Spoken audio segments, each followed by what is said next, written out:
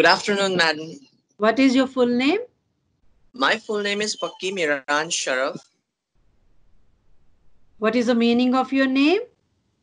The meaning of my name is actually leader, but it have another meaning which means rich. Where are you from? I am from Bhiwandi. It is a small town situated in the Thane district, which is quite near to Mumbai. Do you like your hometown?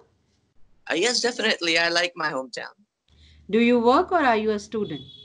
I'm a student and I'm currently studying BCom. What are your future plans? My future plans are actually quite uh, different, but uh, as of now, I'm really planning to do MBA. Okay, let's talk about your childhood. Did you Yeah. enjoy your childhood? Yes, I definitely enjoyed childhood. I was pampered a little. Okay. What is your first memory of your childhood? Ah, the first memory of my childhood, I would say I remember doing a lot of things as a kid, but I remember I used to play with a lot of toys when I was a kid, especially with the toys that include some brick building and building some small houses using some cubes, all those kind of toys. Did you have a lot of friends when you were a child? Um, no, I was not really a very social guy when I was a kid, but I had a couple of friends, and they're still my friends today. Okay. What did you enjoy doing as a child? I, used to play a lot of video games, especially Super Mario. That was my favorite one. Okay. Do you think it's better for children to grow up in city or countryside? And why? Um, I would say it depends. Countrysides have some of their advantages, while city have some of their advantages. Like in city, you might get proper food, quality of life, education, and better facilities. While if you live in countryside, then you would be more exposed to nature. So it depends. But I've grew in city, so maybe to me, city life is more preferential. Okay, let's talk about happiness. Are you a happy person? Um, most of the times, yeah, I'm a happy person. What usually make you happy? Um, usually, I like to listen to music and play video games, and sometimes I also like to go to park. That really makes me happy and relax. And what makes you feel unhappy? Um, when my parents scolds me, and sometimes when I don't do a lot better in my academics, then I really get disappointed. Okay, do you think people in your country are generally happy people? Um, it really depends. Actually, economic is uh, a really important factor. If someone is having a really nice financial life, then most of them are happy. But if some people are not really earning a lot of money, then they sometimes feels like uh, they are burdened or it's just that uh, money is one of the most important equalizer in one's life. So in my country, if you're having quite a decent amount of money, you would be happy. And if you're not going to be making a lot of money, then you won't be as happy as others. But still, I mean, finding happiness is the most important goal of life. Okay. Okay, let's talk about neighbors and neighborhood. Do you like Yeah. your neighbors? Uh, yes, I definitely like my neighbors. They are very nice people. Are neighbors usually close to each other in your country? Yes, in my country, neighbors are definitely a lot more closer as compared to the other countries. I live in India, and a neighborhood is just like your second family in India. So, yes, definitely neighbors are a lot closer to us. What is your neighborhood like? Um, my neighborhood is just like any other neighborhood in India, but uh, it's like uh, people are really, really humble and they like to help you if you are in trouble and you can almost go there at any any at anyone's home and you can ask for help and you can just describe your problem and they will definitely just act as if they are homies Do you think your neighborhood is a good place for children? Ah, yes, I grew up in the same neighborhood as I live in today. So I would say, yes, it is a very decent neighborhood and anyone can grow up and have a decent life here. No trouble for me. Do you think it is important to have a good relationship with your neighbors? Yes, it is very important to have good relationship with our neighbors because our neighbors are just like our second family and if you would help your neighbors then they'll help you in some time future.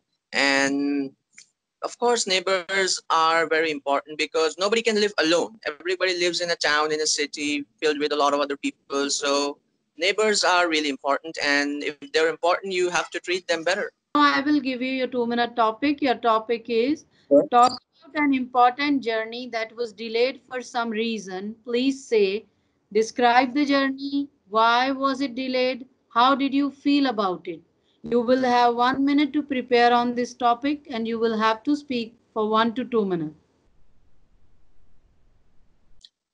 Yeah, may I start? Yes, you can. Recently, we were about to plan a trip to a nearby location. It is called Mahabaleshwar. It is a very beautiful hill station. And in order to get there, you would have to travel via a car in order to climb the hill. There's only one way to go there. And if by any chance the weather conditions are not good enough, then you won't be able to go there. So we were planning to get there by a car and we were just about to go the next day and all of a sudden we heard a news that uh, the weather conditions are not going to be good enough there's going to be some really really heavy rainfall over that and uh, it will be completely foggy and it is extremely risky if you would drive a car in a foggy place, especially if you're climbing a hill, because slightest mistake could land you in a big trouble. And even by accident, if you fall from that height, then there's no way for you to survive. And that's why my father is actually the one who drives the car.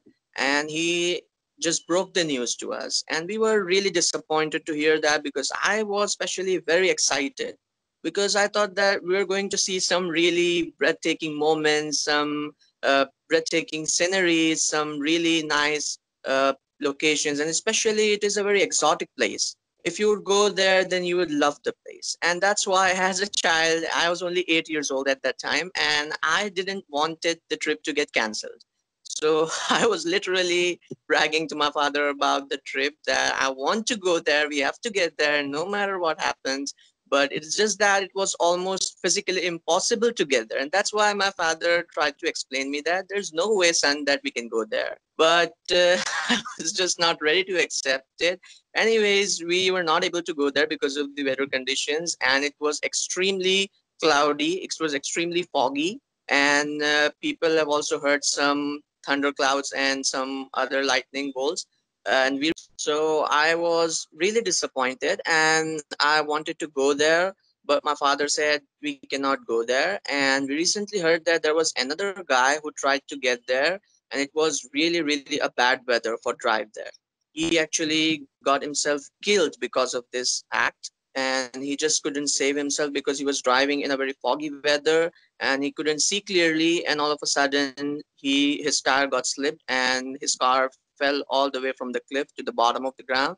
And it was quite a disappointing news, but at that time I learned my lesson that maybe my father was actually very right that we didn't go there. It was really a nice decision, probably a life saving decision. Maybe we can cancel one trip, uh, but if we save our life, then we can carry on multiple trips if we are alive in the future. So that was my experience with the bad weather.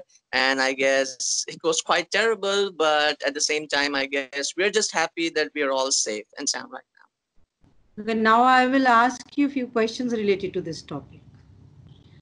Let's talk about travel. Do you like to travel? Definitely. I love to travel. In fact, uh, I think that I should probably complete a tour of pretty much every country in the world. I want to visit almost all the countries in the world. Okay. What mode of transport do you use?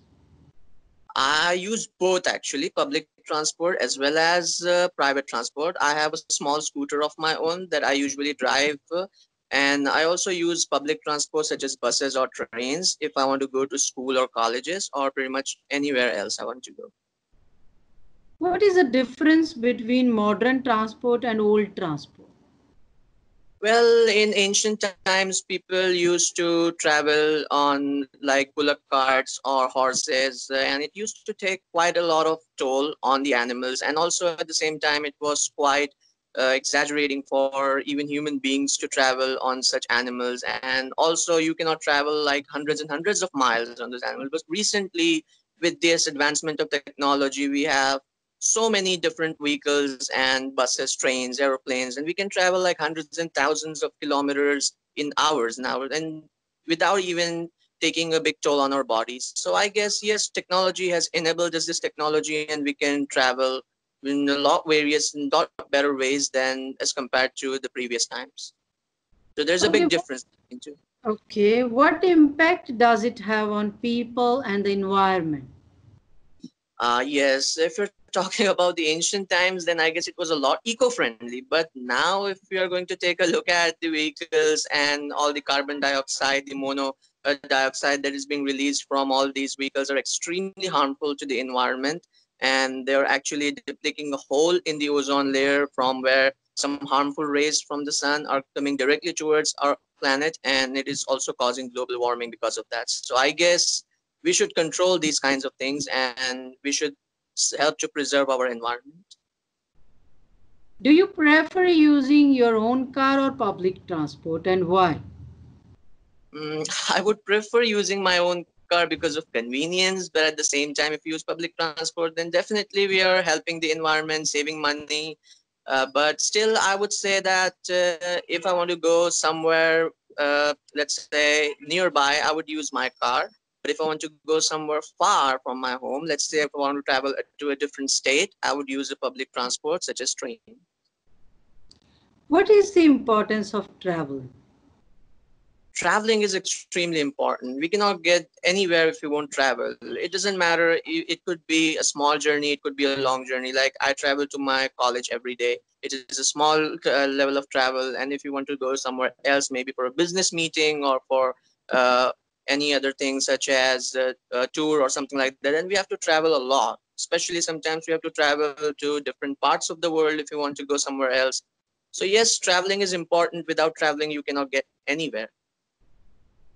All right. This is the end of your speaking. Thank you. Thank you